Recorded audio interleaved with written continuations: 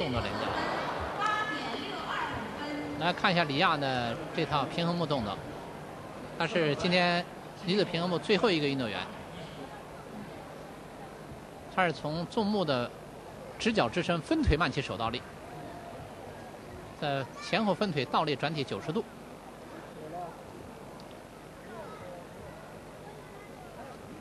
分交换腿跳，在团身跳转三百六十度。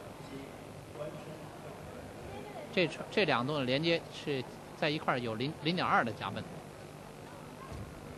助跑团身前后翻站木，再接个仰跳，哎呦危险！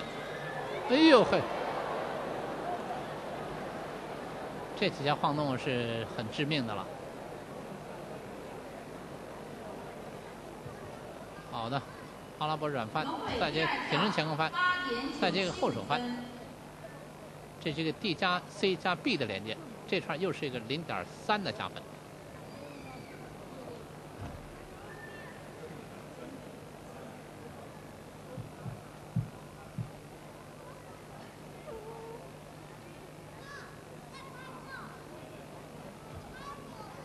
现在做了一个舒舒诺玛转体三百六十度，这个本来是一个 D 组难度，但是这次呢规定的是一个 C 组，那么国际体联很可能把这个动作变为 C 组了。